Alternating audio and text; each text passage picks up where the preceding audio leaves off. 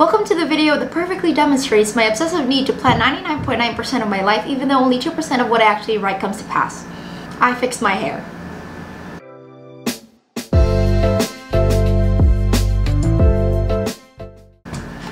Hi everyone and welcome to the video. Um, Happy New Year! New Year, again, is my favorite time of the year because it's noisy and as much as I like my tranquility and peace and quiet, there's something about the world going nuts for one minute that makes New Year a very special time of year. So we have that. Also, if you're wondering why I did the whole thing, even though I rarely do that, um, I woke up and I felt really confident, so I decided, you know what, I'm gonna waste 30 minutes of my life trying to fix my appearance because why not? So I know you've read the title, and do I need to explain any further? Not really, but this is actually going to be my first ever attempt for a bullet journal. So I've been doing journaling for a while now, and this is actually my journal for 2020. It's actually a gift, so anything that's free, I will freely take. This one has a page for every single day of the 300. Was last year a leap year? Hey Google, was 2020 a leap year?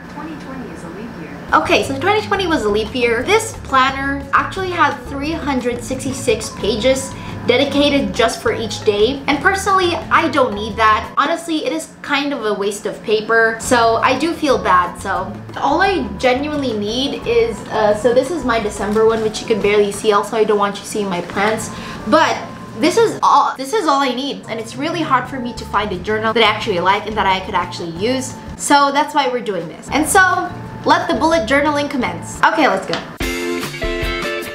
So here's what we'll need to make our bullet journal. So I have this extra notebook that I got from Muji. It's the A5 size white 90 sheets dotted ring notebook dotted paper polypropylene cover. Yeah, it's just an extra notebook that I have from, you know, school, but I never got to use, so I realized I might use it right now. I also have three Tombow pens. They're in the colors I forgot, so I will just link it down below again because I genuinely forgot. Now I also have this foldable ruler from Muji again. And now we also have this Muji mechanical pencil. I feel like you're getting a theme here. I also have these two Muji sort of gel pens. One is in 0.5 and 0.38. The reason why I have two is because my handwriting sucks in 0.38, but it's the most helpful, so that doesn't really explain why I have two. It just works. It just works, okay? And also previously, I did do sort of a list of what I want my bullet journal to have, so I have, you know, an idea of the flow of everything. So now, just open your notebook, and I actually did sketch a sort of front page, and it just says,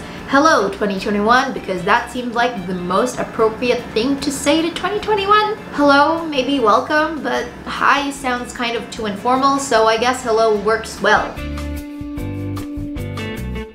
Now, in my idea, or at least in my mind, this type of lettering worked really well, but mine sucked. So I will change that later on. I'm really sorry about that. And I also put my name at the bottom just in case I forget my name someday. So we have that. After you finish the front page, we move on to this page, which is, I forgot what this is called, but it's apparently a very important page. So essentially what you want to do here is get a ruler and you sort of just want to make a bunch of lines and even number how many dots or spaces you have in your notebook. Now the reason why this is really helpful is because in the planner you actually make a lot of boxes and a lot of divisions onto each page so you don't want to have to count every single dot that you have in every single page over and over again. So having a reference really just helps you sort of do the math. So for this one, I did the mid section of the page and the half section of the page. I also did horizontally two divisions, three divisions, and then four divisions. And then vertically, I did three divisions, four divisions, five divisions, and then six divisions. Next is my year in the calendar. No, that was wrong. Next up is my year calendar. So in here, I just really want to have an idea of the whole year in a way. Initially, I wanted to make boxes for it, but then I realized that that'll make it a little too chaotic and sort of tight. So I decided to not put any boxes and just make it into this fashion. If that's not for you, then understandable and have a nice day. So a little tip to help you make this sort of process faster is to actually plot first the first day and the last day of the month. January 1 is a Friday and January 31 is a Sunday. And so you just put that and then do the same for Feb, March, April, and May so that you won't have to keep referring to your calendar if you got the dates right. Now for the next page, I actually have a January thing that I really wanted to put, but the problem is I cannot do art. So I'm just gonna do that off camera later on because I suck at it. Next, we have our sort of planner for the whole month of January. Now, I'm telling you, the reference page really is important because it did help me sort of divide these two pages into the amount of boxes or weeks that I needed. So you see, I'm telling you, the reference page is very helpful. Now for the month of January, I know that a lot of people sort of divide their Wednesday or a day in a week into two pages, but for me, I really wanted to do it differently. I wanted three days on the left page and then four days on the right page. I don't know how to explain it, but there we have it. Also for this one, similar to the year calendar, I was thinking of putting boxes, but I saw a peg on Pinterest and, and it's really great. I like this way better. Now for the word January, I wanted to do something different. So I remember that I had this sort of craft stick paper and I just wrote the word January on it and then cut it in a very fancy way. And then all I did was I just stuck it there and it looks very pretty, I swear. Also, full respect to people who like starting their weeks on a Sunday, but personally, Monday just makes much more sense. That was a lot of M's. Now for the next one, this is the monthly habit tracker. So I didn't really necessarily had to do this, but I like the idea of sort of having a tracker for my habits which is essentially what this page is all about. But all I did is I created a really long line and this is me flexing my ability to create a straight line in one go, although it's out of focus, but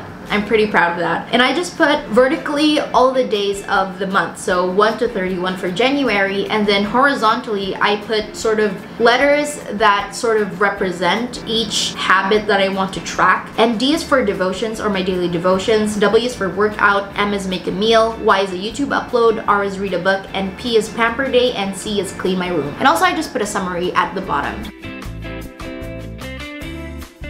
Now for the next part, this is the budgeting, which is kind of a fail, but I mean, I'm showing it anyways. And I just really want to be able to track my expenses and my income for every single month the problem is ever since the quarantine happened or the pandemic happened, I just stopped doing that and I, I would just sort of spend and spend without calculating how much I've actually spent in a month. And the great thing about budgeting or, you know, having a tracker for your expenses and income is that it makes you spend less and makes you want to save up more. So I think it's just really helpful. Now, the thing is, I didn't exactly like the outcome of the habit tracker and the budgeting, so I actually went on to do February, which is really hard to pronounce, and then the planner page. As you can see, I did put a legend and a main goal as well. And we have the track my habits monthly or the monthly habit tracker and my budgeting. So all I changed for the habit tracker is the title, although you know, you could always interchange the title. Also, I accidentally used the wrong color for the horizontal sort of habits and you know what?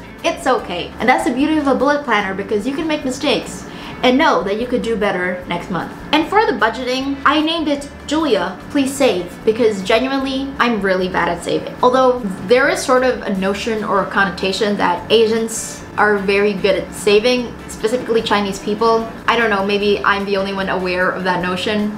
Maybe it's not actually a notion after all. I also did pre-write the legend so that I have codes for, you know, my expenses. So a sort of triangle facing the right is for YouTube because you know the YouTube logo. Circle is for food because it reminds me of a plate. And a note is for entertainment because music. And then a square is transportation because somehow cars look like squares or rectangles and star for personal because I didn't have any more symbols to use so we have that. Now for this one I feel like the mistake that I did for the January monthly budgeting is that I did use a very bold black pen for the lines but for this one I just used a lighter Tombow pen and there we have our bullet planner.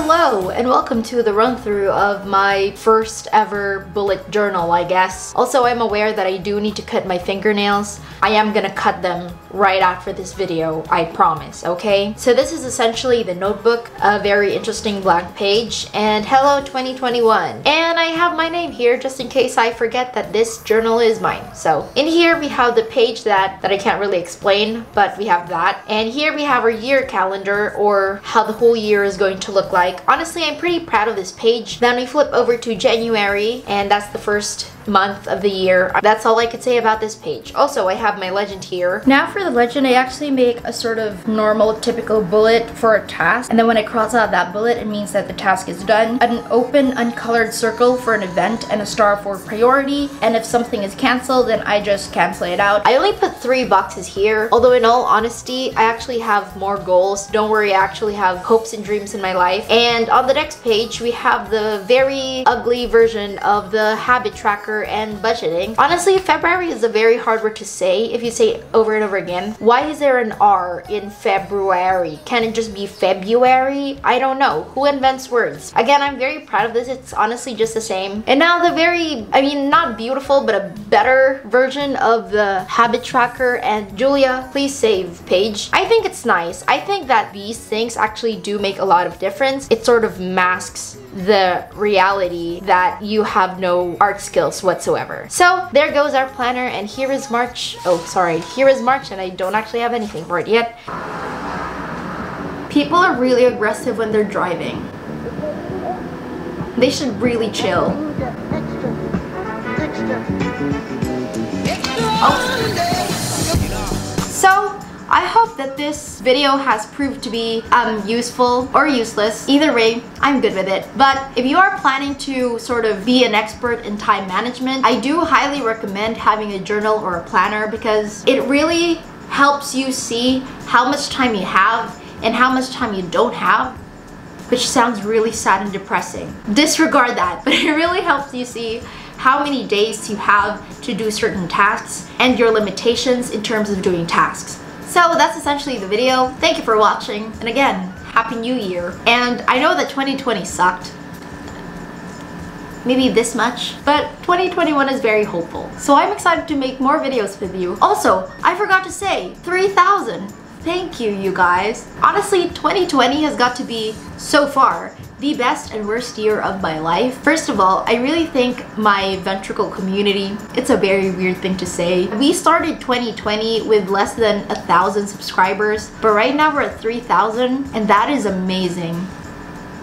I can't believe that there's 3,000 of us, but all I want to say is I love you all from the bottom of my hypothalamus. I don't know what to say anymore apart from bye, so bye, I guess. Okay, I'm gonna cut my nails.